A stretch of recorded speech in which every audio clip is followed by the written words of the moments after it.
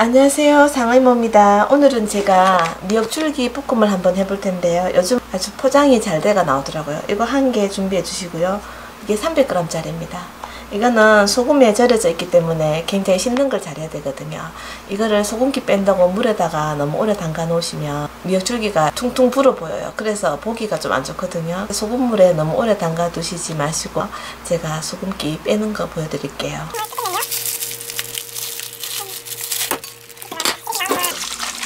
굉장히 많이 칠해갖고 있어야 돼요. 그리고 소금이 나오는 거는 이렇게 밑에 소금이 굉장히 많이 나오거든요.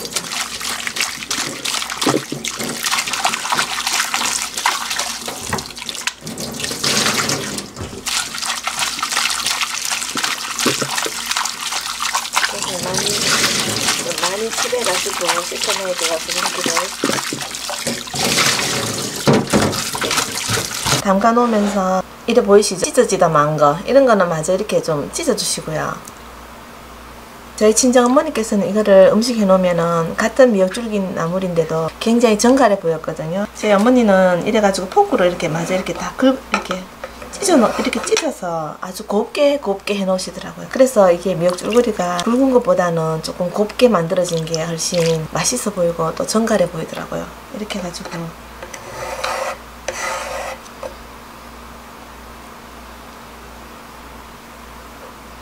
너무 굵은 것만 손질해 주시면 돼요.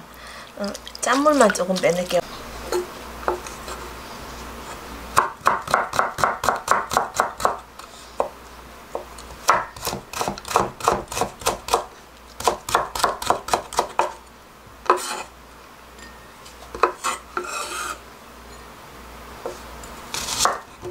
양파는 아주 작은 거 하나만 채 썰을게요.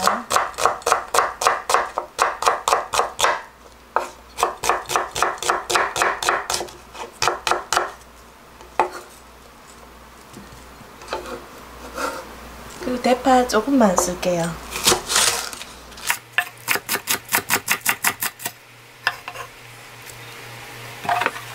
미역줄기는 제가 지금 물을 꼭 짰거든요.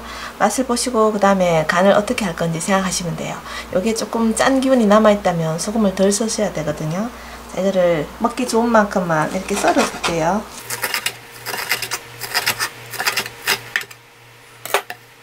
식용유 반 스푼이에요. 참기름 한 스푼이고요.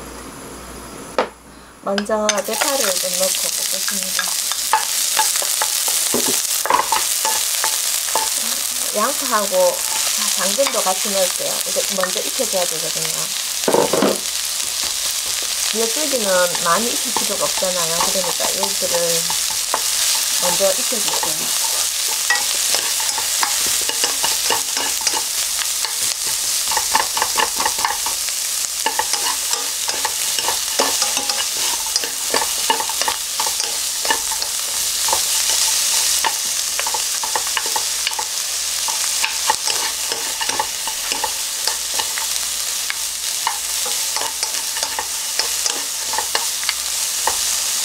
마늘도 한 반 스푼.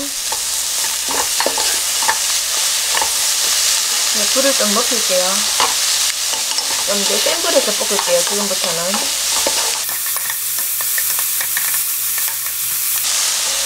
양파하고 당근이 한 조금만 익으면은 바로 미역 줄기 넣을게요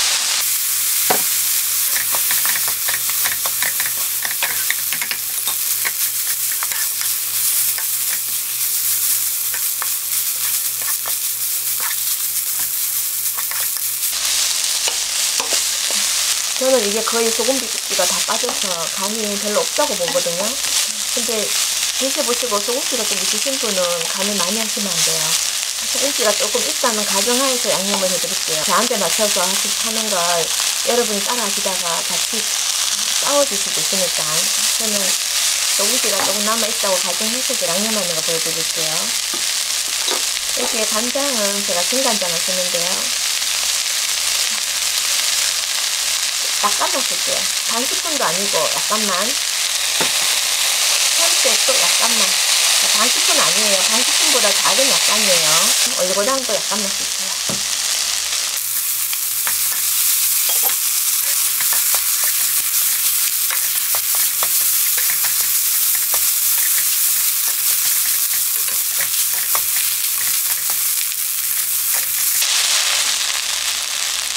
다 됐습니다.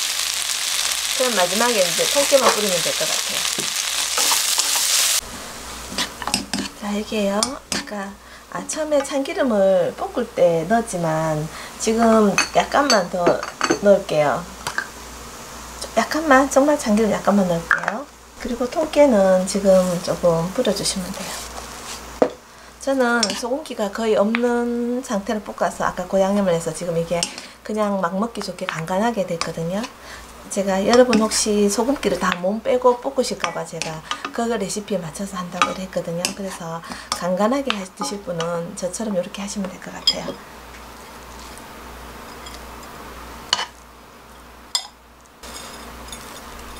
자, 통깨를 마저 좀 뿌려주고요.